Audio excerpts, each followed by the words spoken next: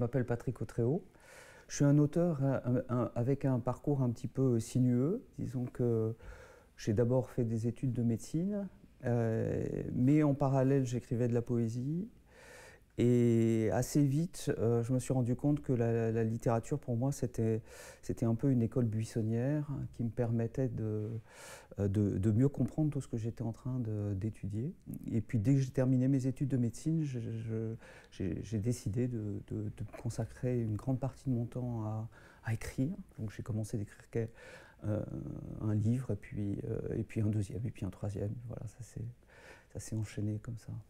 Mes premiers livres ont été des, textes autobiographiques sur l'expérience de la maladie, et puis d'une maladie qui, me menait vers, euh, une, certitude de mort au, départ.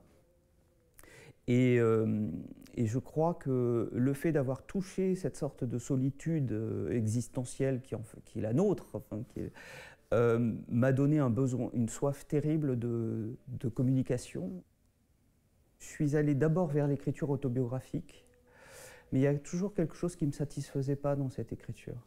Et d'une certaine façon, sans m'en rendre bien compte, j'ai un peu emprunté le cheminement qu'on peut avoir euh, quand on fait une analyse, par exemple. C'est-à-dire d'aller vers les lieux qui sont les lieux, euh, des grottes, les lieux des caves, c'est-à-dire les lieux de la nuit, les lieux du rêve. Euh, et c'est un, petit peu là que j'écris. Je vais vous lire un extrait d'un texte qui s'intitulera sans doute L'époux. Tu le sais, un visage m'habite que je n'ai jamais vu. Personne ne le connaît et aucun texte ne le décrit.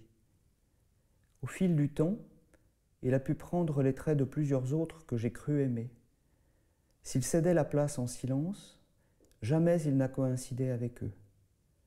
Ses amours se sont desséchés ou ont pourri, je traversais alors les ruines de ce que j'avais voulu croire et finissais par me tourner vers lui qui s'était reculé. J'interrogeais en secret ses yeux fermés. Dormait-il? Doucement, tout doucement, il reprenait forme. Je revenais et le laissais revenir. Je m'accusais et me lamentais. Je me jugeais et m'en voulais. Lui, que disait-il? Rien. Mais je sentais son doigt tracé en moi des figures. Dans ceux que j'avais cru aimer, c'est lui qui me manquait.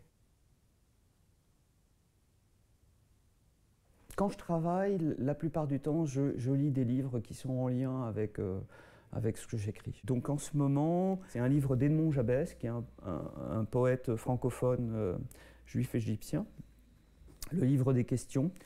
C'est un livre qui est, assez étonnant par sa forme, parce que c'est Edmond Jabès... Euh, euh, s'est inspiré du, Talmud et puis des commentaires euh, talmudiques de l'écriture. Et il en a fait une sorte de roman, c'est une histoire d'amour, euh, mais qui, est, qui, est, écrite entre la poésie et le commentaire. donc il imagine une myriade de rabbins imaginaires qui lancent des maximes, des aphorismes, et qui se mêlent avec l'histoire d'amour de ces deux personnages qui sont frappés par l'histoire. Alors il y, a toujours un risque dans une résidence, c'est-à-dire qu'on ne sait jamais au fond ce qui va se passer. J'aime arriver avec un manuscrit qui est déjà, sinon achevé, mais du moins très avancé, euh, de sorte que hum, je sois à un, moment de ma phase de travail où j'ai besoin de prendre l'air.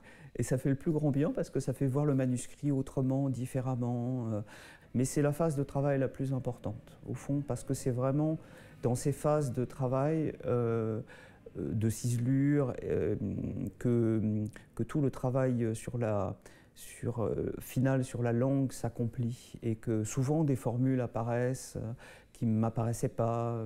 c'est vraiment un travail de, d'affinage, on peut le dire aussi comme ça. Donc j'ai découvert le palace avec euh, ce documentaire euh, sur Nan Goldin.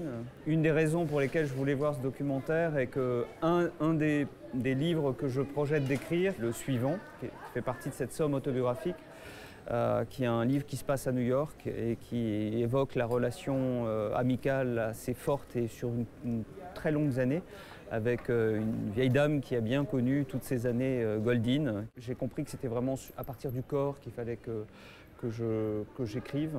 même si ensuite c'est devenu le corps mis dans des situations extrêmes, que ce soit euh, que ce soit la maladie, que ce soit la sexualité, que ce soit le voyage aussi, ou l'épuisement.